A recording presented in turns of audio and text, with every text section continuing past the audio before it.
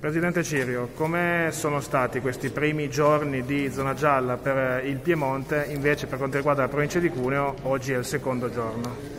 Beh, oggi è il secondo giorno di zona gialla, la zona gialla vuol dire ripartenza, la ripartenza vuol dire che dobbiamo essere felici perché le attività riprendono e se non riprendono le attività non riprende la vita perché la crisi sanitaria porta con sé una crisi economica che non può essere sottovalutata nello stesso tempo noi dobbiamo vivere la zona gialla lavorando di più ai vaccini ed è quello che il Piemonte sta facendo. Ieri io ho ricevuto questa telefonata dal Presidente Draghi, ieri sera alle 7, che si congratulava con il Piemonte per il risultato raggiunto.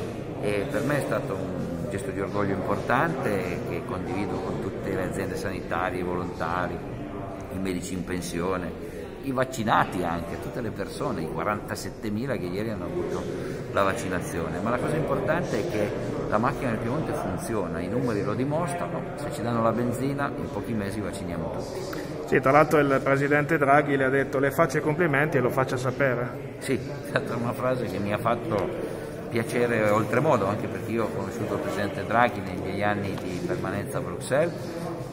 Draghi è una persona di poche parole, e di grande sostanza e quindi il fatto che abbia voluto dirmi di far sapere il suo livello di soddisfazione per come il Piemonte si stava comportando sui vaccini ma anche su questa missione. Non dimentichiamo che in India si sta vivendo una tragedia umanitaria enorme perché eh, le persone eh, hanno necessità di ossigeno, manca l'ossigeno. Noi come Regione Piemonte abbiamo ricevuto la richiesta del governo italiano e della Commissione europea di mettere a disposizione il nostro impianto, la nostra equip proprio per aiutare l'India.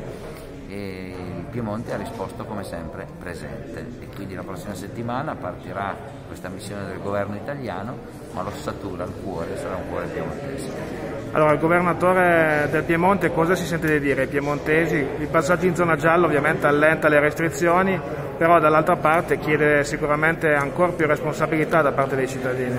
Sì, io chiedo responsabilità, dall'altra parte come eh, tutti possono vedere noi garantiamo un'accelerazione fortissima sui vaccini, se ci daranno i vaccini entro l'estate noi avremo vaccinato tutti. Eh, chiedo anche al governo italiano un buon senso più profondo su alcune norme, su alcune misure se la pandemia lo permetterà, di rivedere al più presto la norma sul coprifuoco perché diventa difficilmente comprensibile, così come eh, il mangiare all'aperto. Io capisco che la sua amministrazione all'aperto abbia una logica sulla pandemia, però rischia di essere una valutazione di tipo eh, latitudinale, se vogliamo, cioè di che tempo fa, che invece rispetto a quelli che sono i contagi effettivi. Mi spiego meglio se la Sicilia avesse più contagi del Piemonte, la Sicilia continua a far mangiare fuori perché fa caldo, il Piemonte mangiare fuori è impossibile, specialmente in questo periodo, ma nelle nostre montagne piemontesi fatichi a mangiare anche da luglio. Per cui che le norme abbiano sempre buon senso, perché col buon senso la gente se capisce la logica le rispetta di più. Per chiudere, visto che ci troviamo nel Palazzo Comunale di Racconigi, è stato questo motivo di incontro per parlare della ripartenza racconigese, della zona ex Nero, del castello, insomma, eh, cosa ci può dire? Vi posso dire che siamo venuti qua innanzitutto a dire quello che abbiamo fatto, sono felice anche dei ringraziamenti che il sindaco di Racconigi ha rivolto a me, alla regione. Noi abbiamo finanziato per 10 milioni di euro i sottopassi della ferrovia di Racconigi che sono un problema vitale di vivibilità urbana per chi vive in questa terra e per chi la attraversa enorme. Abbiamo finanziato per 3 milioni di euro la scuola e quindi un altro segno di attenzione concreta e tangibile per i bambini. Ed oggi dobbiamo lavorare a recuperare quest'area, quest'area dell'ex manicomio di eh, Racconigi, che è un'area gigantesca di cui si è parlato tanto ma di cui si è fatto ben poco.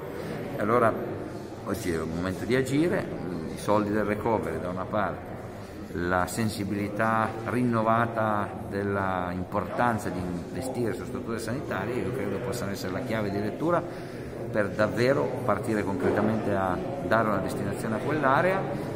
Con che metodo? Con un commissario adatta che io chiederò di nominare all'interno della, dell'azienda sanitaria locale CN1 perché possa dedicarsi, mettendo la sede all'interno del comune, il sindaco ha già dato l'autorizzazione, a costruire questo gruppo di lavoro che in pochi mesi possa avere idee chiare su cosa fare in quell'area. Per chiudere, lei prima ha detto una frase simpatica che mi sono annotato, parlando ovviamente delle realtà piemontesi, i castelli della Loira ci fanno un baffo. E ce ne fanno anche due, nel senso che sono mille volte più belli i castelli piemontesi dei castelli della Loira, eh, forse in Francia hanno saputo promuoverli meglio, ma adesso arriviamo anche noi, perché se noi Racconigi lo mettiamo insieme a Stupinigi, lo mettiamo insieme a Venaria e poi ci colleghiamo ai castelli delle Langhe e poi arriviamo alle ville del Lago Maggiore, voglio vedere quale pezzo di Francia ha questa realtà, nessuno. Quindi la Francia ci fa un baffo.